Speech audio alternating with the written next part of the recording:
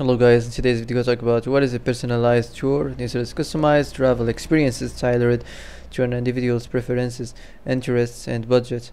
So that's for today. I hope this is the answer you've been looking for. If you like this video don't forget to like and subscribe and see you in the next video.